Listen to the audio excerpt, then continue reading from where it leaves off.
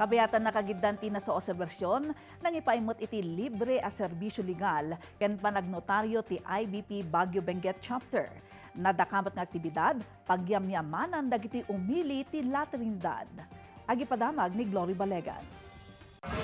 Adu nga umili tinagnumar iti maikadwa adupag ti libre a legal aid service nga injaya ti Integrated Bar of the Philippines wenno IBP Baguio Benguet Chapter kagidan ti selebrasyon ti 41st Strawberry Festival ti La Trinidad Benguet. Nagnumar dagiti tao iti libre apan nakaisagana ken panakanotaryo dagiti simple affidavit, legal counseling ken rights awareness. Imbing layma ti maysa kariti Board of Directors ti grupo ti rason iti panangisengkat da iti nasao nga aktibidad.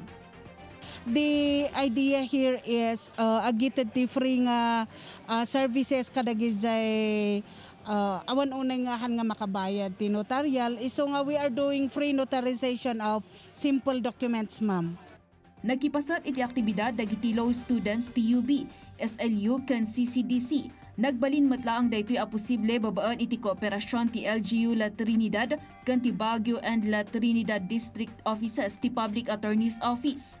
Imunan anay sa engkat ti kapadang aktibidad idi napalabas alawas ang nagnumaran matlaang ti adu nga umili a rason tapno kidawan manan ti mayor ti munisipyo ti panakaisengkat ti aktibidad itang nga aldaw. Nalausmat ti panagyaman dagiti nagnumar iti nasawa serbisyo ng runatan na ilibre dagitoy manipod iti kadawyan a 100 pesos aging ga 300 pesos a mabaybayadan kadagiti pribado a notarial offices. Malaksid kariti umili karaman pay ang nagnumar iti programa dagiti law students.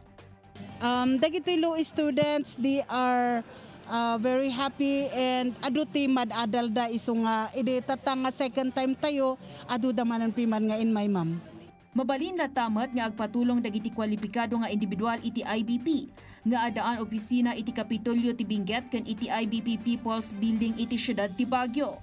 at the ticket ko nga emphasize de daytoy nga ikat kasla ti ah, libre probo ng um, services ti IBP Baguio Benguet kat directed mat kadagi jay indigents wenno the same nga ti um, basis na ijay pau Glory Balegan para iti Pagilian.